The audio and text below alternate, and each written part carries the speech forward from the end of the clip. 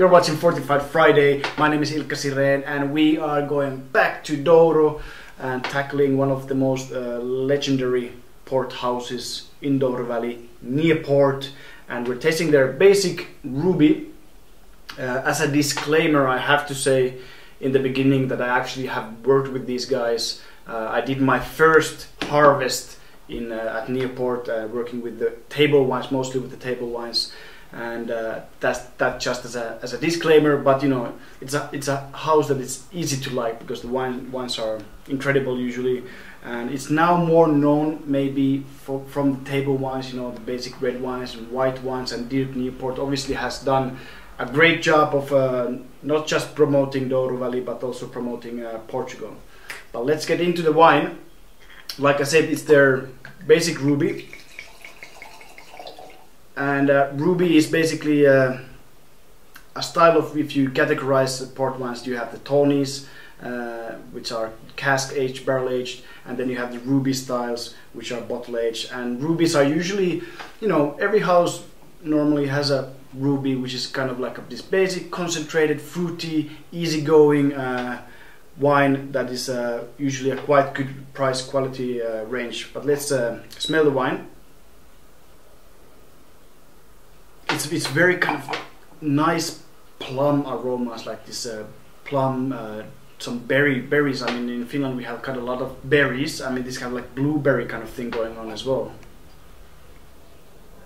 And it's it's, it's, kind of this pencil aroma. I don't know if, if I mean you probably don't smell a lot of pencils like I do but I mean this kind of has like this pencil sort of uh, aroma in the nose and I kind of like it. Let's taste it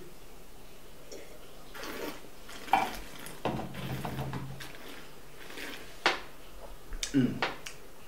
What I like about this wine is is is the the body of the wine. It's not too heavy because sometimes the ruby wines are too sweet, and then with the sweetness comes the body, and they're too kind of flappy and chunky and, and that kind of stuff. And this is kind of this is lean. This is lean. This is kind of like a kind of ruby that works out a lot in the gym, and it gets you know it's fit. It's fit, and it's it's kind of easy to drink because of that. Let's taste it one more time.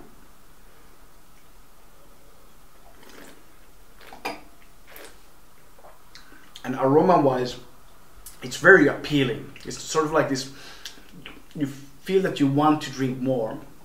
And you have the tannin grip which is kind of like the smooth velvety tannins. They're not too overpowering. This kind of like this a nice grip that you actually feel that you're drinking something. And you have this nice kind of uh, structure in the wine. And you could easily have with, with food because of that because it is uh, is lean fit tannins a bit of acidity so I mean, it's a good uh, port wine for food. It's one of those. Let's bring back the slow clap. you remember remember the slow clap in the first episode of Fortified Friday. Uh, I think this deserves a, a, slow clap. You know, one of those decent ruby ones. You cannot go wrong with the with a ruby like this. Uh, it just goes with anything. Every food, every, every not every food, but you know, it's, it's it's very versatile. Let's put it that way.